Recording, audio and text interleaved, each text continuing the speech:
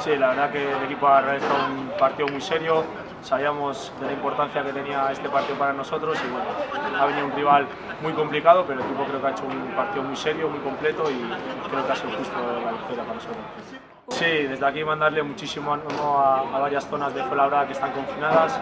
Esperemos que este partido pues bueno, nos haya dado fuerza para, para salir adelante y desde aquí darle muchísimo ánimo. Difícil todos, ¿no? Yo creo que Girona pues sabemos del potencial que tienen, se quedaron a un partido prácticamente de, de subida a división, pero bueno, al final lo afrontaremos como lo afrontamos todos, todos los partidos y esperemos que sacarlo adelante.